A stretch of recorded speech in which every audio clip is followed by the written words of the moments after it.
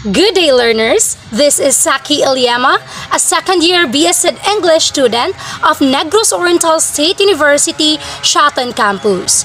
Welcome to the Foundation of Special and Inclusive Education class. For today's video, I will be discussing on the psychological basis of special and inclusive education. These are Piaget's cognitive development, Albert Bandura's social learning theory, Lev Vygotsky's scaffolding, and Jean Lave's situated learning theory. Now for the objectives, at the end of the lesson, we will be able to know the psychological basis of special and inclusive education, identify the theories and its initiator, and relate the psychological basis in teaching special and inclusive education. Psychology has greatly influenced the development of modern education. Basic connections and relationships between psychology and education are manifold. Educational theory and practice are conditioned by the nature of human behavior. What teachers do, how students learn, and how teachers can help students learn are the main influences of psychology in education. Starting up with the first psychological basis, which is Piaget's cognitive development.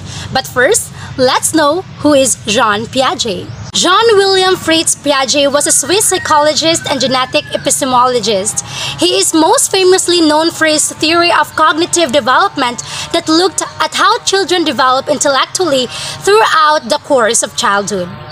His theory of cognitive development suggests that children move four different stages of mental development. His theory focuses not only on understanding how children acquire knowledge, but also on understanding the nature of intelligence.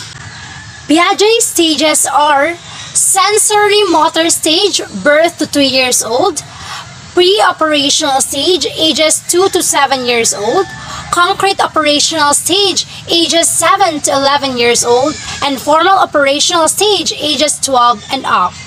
Piaget believed that children take an active role in the learning process, acting much like little scientists as they, as they perform experiments, make observations, and learn about the world. As kids interact with the world around them, they continually add new knowledge, build upon existing knowledge, and adapt previously held ideas to accommodate new information. To better understand some of the things that happen during cognitive development, the following are some of the factors that influence how children learn and grow. Schemas. A schema describes both mental and physical actions involved in understanding and knowing. Assimilation. The process of taking in new information into our already existing schemas.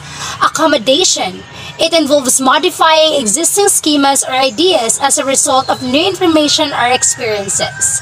Piaget believed that all children try to strike a balance between assimilation and accommodation, which is achieved through a mechanism called equilibrium. Next is Bandura's social learning theory.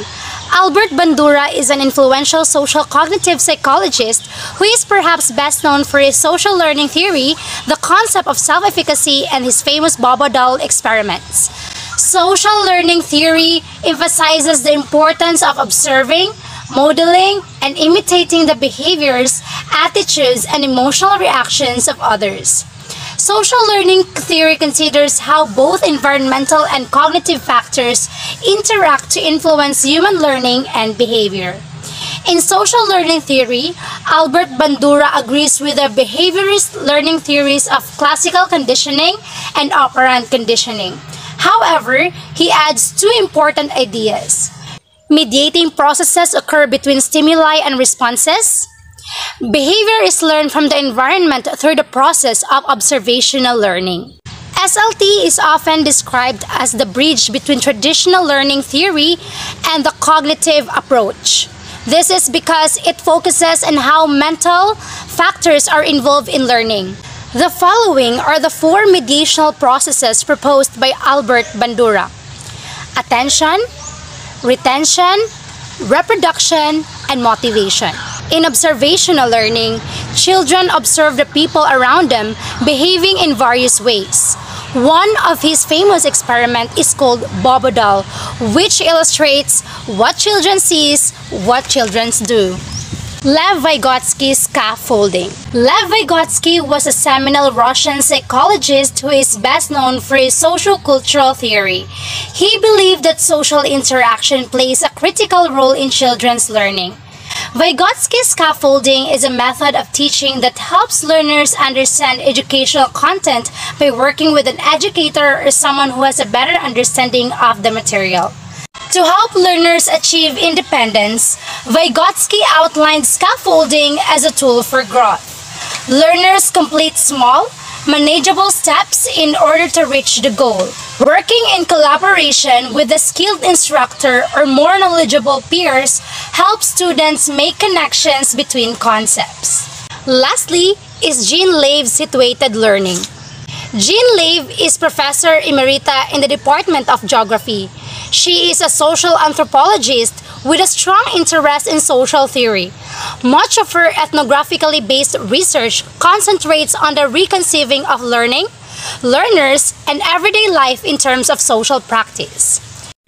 The concept of situated learning theory is that learning occurs within authentic context, culture, and activity that it is widely unintentional.